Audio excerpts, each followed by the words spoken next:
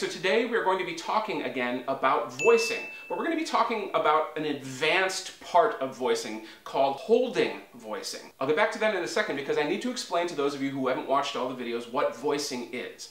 Voicing is the position of the back of your tongue relative to the roof of your mouth. Now, what does that mean? Well, I want you to say the vowel E. Go. E. Close your eyes and feel what your tongue feels in the back. It will probably feel your top back teeth, your molars in the back of your mouth. Now, if you go E, try that. E, you will feel the back of your tongue release off of your molars slightly, so it's not touching your molars anymore. And if you go eh, ah, you'll feel your tongue move toward the center of your mouth. So those are the three coarse voicing adjustments for your tongue. But when you're playing in the clarion register, and this is the clarion register, those notes on the bass clarinet, which is over the break, each one of those notes requires a slightly different voicing. Somewhere in between the E and the N, and the Ah is each of those notes, and it's slightly different for every person. And you have to figure it out by practicing the exercise that I talk about in the first voicing video. But I'm not going to talk about that again here. What I'm going to talk about here is when you have two different notes that are far enough apart, let's say a perfect fifth, that require two different voicings, and you have to play them quickly in succession like in this etude, it becomes impossible for you to change your voicing that quickly. You will overshoot or undershoot each of those notes, and you'll wind up, if you overshoot, squeaking, or undershoot, grunting. So, and, and if you overshoot too much, it won't even come out. So how do you play something like when you can't change your voicing? Which voicing do you pick? And that's what we're going to talk about today, because you have to pick one of those notes and hold its voicing while you play the other note. And which note you pick to hold and which note you pick to override is the subject of this video. So for starters, this is the 24th study from the Victor Polatschek Advanced Clarinet Studies. And if you think it sounds familiar, it's because it probably is. The theme from this is after Mahler's Fourth Symphony, the first movement. And that's one of the cool things about this book is that he picks uh, famous themes from famous pieces of music and he uses them as uh, fodder for studies. So this is from Mahler Fourth. So the reason that I picked this particular study to talk about this topic is that it is chock full of these large leap intervals of a perfect fifth in the clarion register fast. Now in the clarion register, as I mentioned, each note has its own voicing, and when you play slowly, you can give each note the correct voicing as you play it because the back of your tongue, which does the voicing, has enough time to move into the correct position as you play the note. So if I were to play this interval, this perfect fifth, the A to the D slowly, I would use the correct voicing for each of those notes. Here, listen.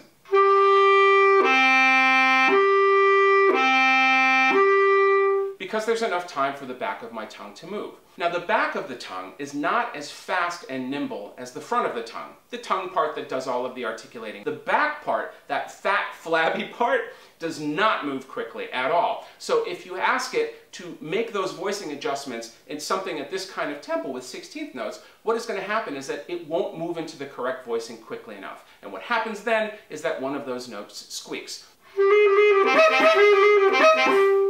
So when I play that, because my tongue can't move up quickly enough, it stays at a lower voicing which causes the A to squeak. As you find this kind of a challenge, and you'll find it because you wind up squeaking, um, you will have to pick one of those two notes, voicings, to hold for the other note. In effect, you have to override the other note's voicing that your tongue has memorized already, uh, and play the other note's voicing for it. How do you choose which note's voicing to hold? What I'm going to start with is I'm going to play the A and then I'm going to hold the A's voicing as I play the D and see if the D comes out. It does. Let me try a different volume. Sounds pretty good. Let me do the opposite. I'm going to play the D, hold the D's voicing, and then try and play the A.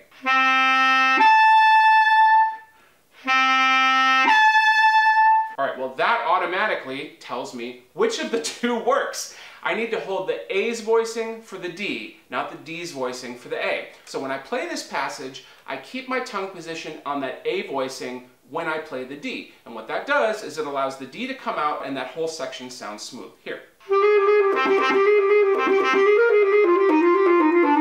So that's how you choose. You find the voicing that works and you hold that voicing for the other note. And once I've figured it out, I go ahead and I write it in. And I need to write it in because I need to remember which of those two notes voicings to hold. if I go ahead and play it and I don't write it in, I may forget and I may try to play the D's voicing and go up to the A and squeak again. So I write it in so I remember as I'm practicing. And then eventually, once I've practiced this long enough, I start to remember naturally which one of those two I need to hold. Now, if you're thinking to yourself, self, I think I figured this out. All I have to do is hold the upper notes voicing when I play a note below it, and I'm good to go. Well, unfortunately, you would be totally wrong, because in the very next challenge that Polatschek has for us, we have to play a D clarion to a G shallow in this phrase. So in this instance, you actually don't want to hold the upper notes voicing for the lower note. And it has nothing to do with squeaking this time, actually. It has to do with the timbre of the note. If I hold the D's voicing when I play a G, the G sounds really thin and pinched. Here, I'll play the D and hold the D's voicing for the G, and you'll hear what I mean.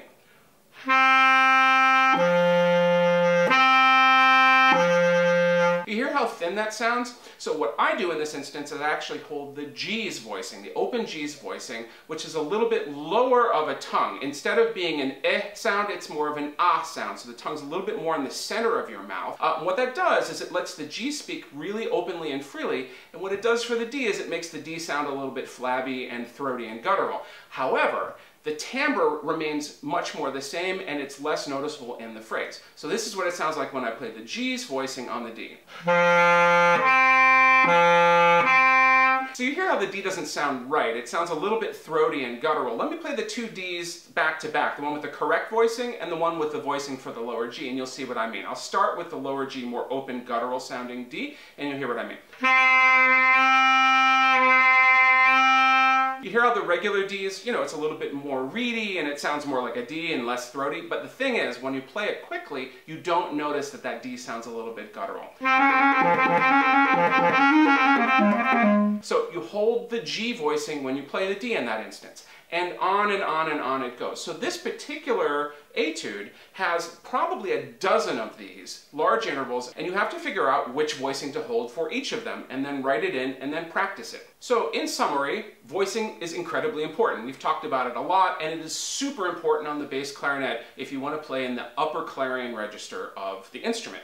Now, we've talked about voicing as being very specific for certain notes, and you have to practice the voicing so it becomes second nature to you, because each of those different notes requires a slightly different tongue position. Except when you have to play two of those notes that are far enough of a tongue position away from each other that you have to choose one of the voicings. And you have to choose them based on what note it's going to and what note it's coming from. It is not a rule that you hold the upper note's voicing for a bottom note because it doesn't always work that way. You want the notes to come out without squeaking, of course, but you also want them to come out sounding smooth, especially in fast passages. That's the point. So I hope this has been helpful for you. Please put any questions in the comments. Uh, I know you may have some, or write me at earspasm.com. Go to that site and you'll find a way to contact me there. And we will see you next time. Thanks for watching.